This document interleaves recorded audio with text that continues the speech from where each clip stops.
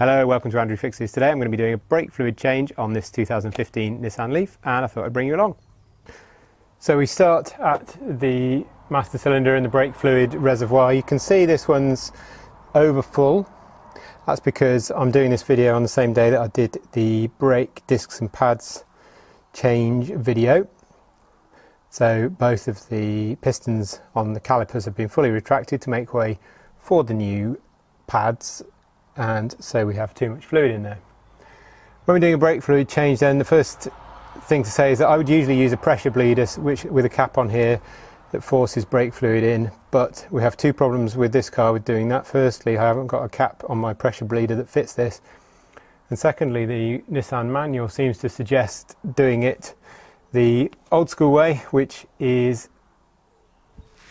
by pumping the pedal and using that to pump the fluid out. So that's the way I'm going to do it. So we'll start by taking the cap off and then using a, I'm using a Mityvac to suck out as much fluid as I can.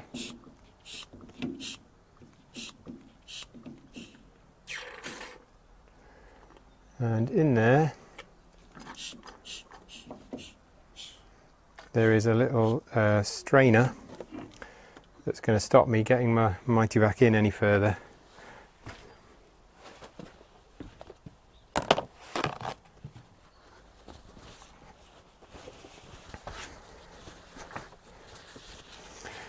Use a clean rag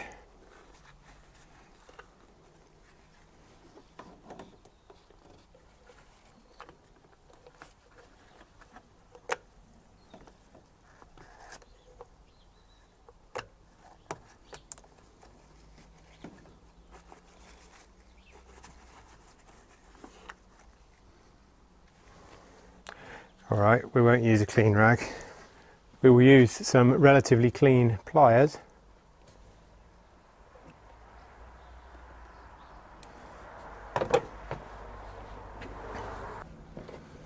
Okay, the strain is out.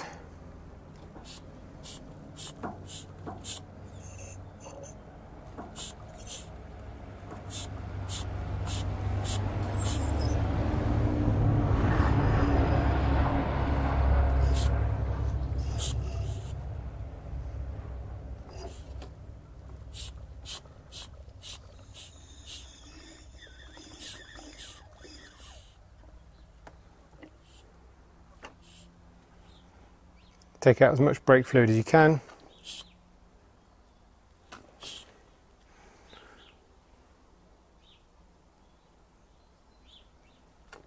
Got a whole container full there. There's a, some sort of a baffle in there that's, that's stopping me getting loads and loads out, so I'm going to stop at that point.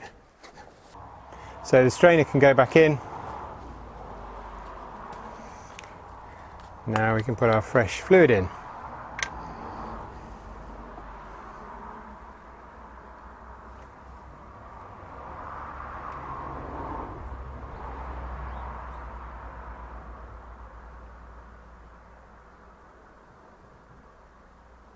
This is a new container, sealed, just opened it today. And I would strongly encourage you to do the same. Now that's filled as full as I dare.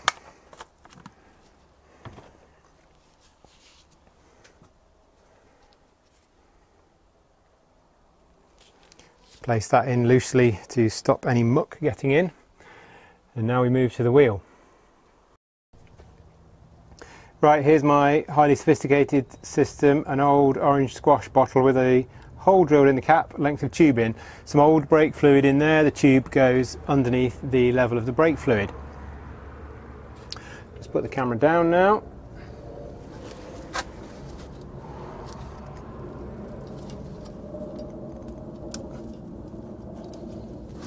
So pop the cap off the bleed nipple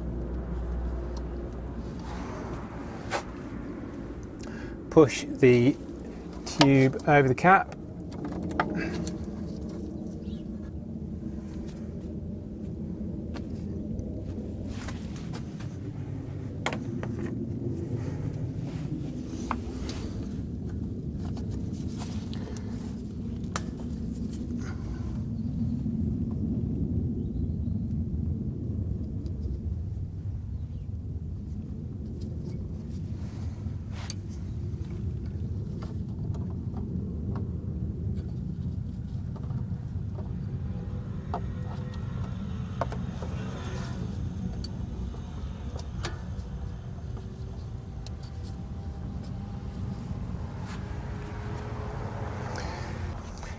because the tube is a tight fit on the nipple, as you undo it, the twist in the tube wants to do it up again. So I'm leaving the spanner on there to, to just allow the weight of the spanner to hold the bleed nipple open. You can see the fluid starting to rise in the tube, which is good. What we want is a column of fluid so that as I press the pedal and then let off, we don't draw any air in, we draw fluid back in. And what I tend to do is just remember roughly where the level is on there and decide how many ribs up the bottle I am looking for. So now it's just a case of pressing the brake pedal.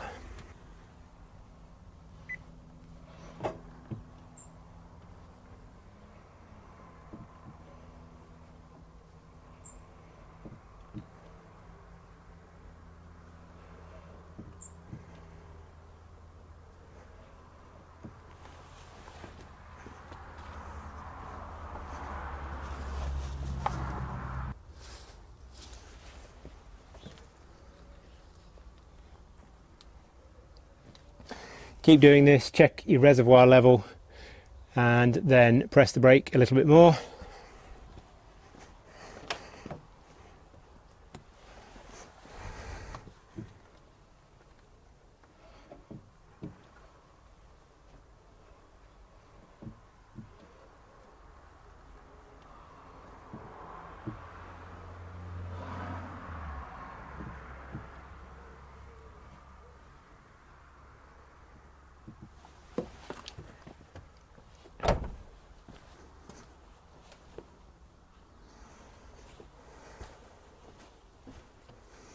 Now the reservoir needs topping up with fluid.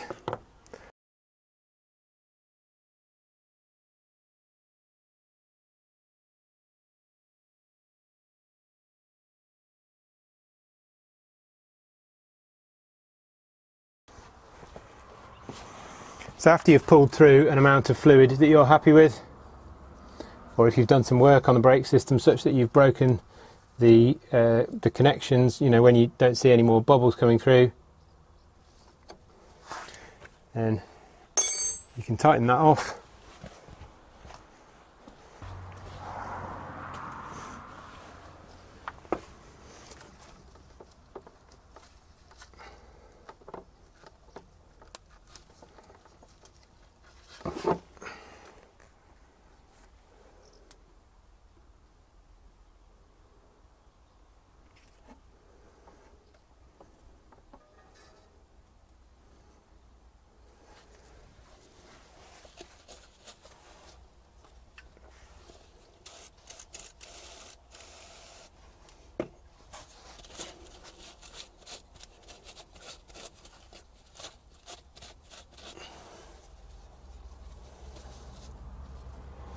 clean up, put the cap back on. On to the next one. I'm not going to show you all four wheels because that would make for a pretty boring video. It's essentially doing the same. There is a suggested order in the workshop manual and that is right hand front first, which is where we started on this one. Then left hand front, then right rear, then left rear. So I'm going to crack on and do that now. Okay, so now you know how to do one wheel. It's just a case of going around and doing the other three in the order I've told you already. Make sure you top up the brake fluid reservoir as you go. Because it'd be really annoying if you forget if you were to forget to do that and end up introducing more air into the system. And I know because I've done that myself before. So top up the reservoir as you go. I managed to do the rear brakes without taking the wheels off just by leaning underneath. So hopefully you'll be able to manage to do that too, saves a bit of time. When you're finished then, top up the reservoir again to the maximum mark, then it'll be easy for you to see if you're losing any brake fluid from anywhere over the course of time, although as your pads wear, eventually the fluid will drop down a little bit. When you're all done then, take the vehicle for a test drive. I've just done that on this one. It's a good idea to check the brakes at a really low speed first, just to make sure something terrible hasn't happened. Um, which of course it won't have done because you'll have done it properly, but I still like to do it uh, just because if the brakes aren't working properly, I'd rather find out at five miles an hour than at 30 or more miles an hour. So what I found when I took the vehicle for a test drive was that the, there's a much more linear response to the braking and the brakes also start to come on higher up on the pedal travel. Now this could be because I did discs and pads at the same time, but I think there's actually a, a bit of both in there as well. One of the brakes that I bled, I did see a tiny little air bubble come out, so I think that sort of ties in with the fact that the brakes feel a bit different because we have actually removed some air from the system, as well as changing the old brake fluid for new. You may read uh, opinions out there that say you don't need to bother changing the brake fluid, that it's absolutely fine. I don't subscribe to that, I'm afraid. I've had a number of cars where I've just changed the brake fluid, so where I haven't done any other brake work at the same time, and it's made a substantial difference. So, as I say, change it if you want, leave it if you want, uh, but my view is uh, I like to change it because I can tell a difference when I have. So that's it for this brake fluid change video. Please feel free to put any questions or comments in the comments section below. If you like the video, please give it a thumbs up and consider subscribing to the channel if you haven't already. It really helps spur me on to create new content for you. Thank you for watching. Remember to check out my other Nissan Leaf videos and I'll see you next time. Bye.